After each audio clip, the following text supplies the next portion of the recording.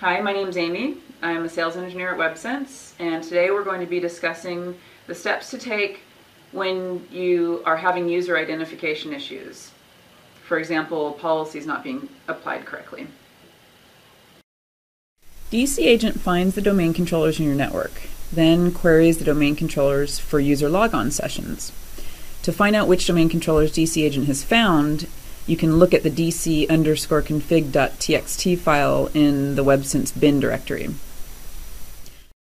So I'm in the WebSense bin directory, and I'll open up the dc underscore config file.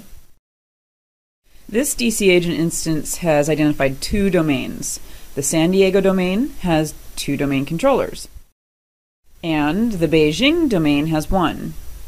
DC Agent queries all domain controllers in the list that are set to on and will ignore any that are set to off.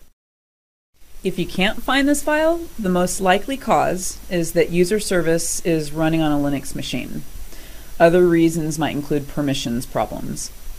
So go to support.websense.com for information on how to manually create the DC underscore config file. If any or all domains are missing from the DC underscore config file. First, make sure that NetBIOS is enabled on the DC agent machine and on each domain controller. Next, make sure any internal firewalls or routers that connect subnets or domains permit traffic on TCP port 139 used by NetBIOS.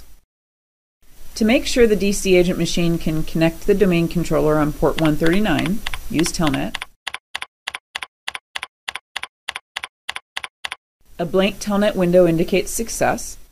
To make sure the domain controller is listening on port 139, you can use the netstat command. So let's switch over to the domain controller now.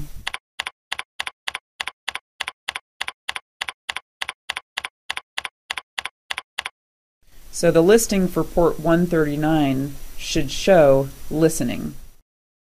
Then go back over to the DC agent machine and check to make sure that all required domains are visible using the netview command.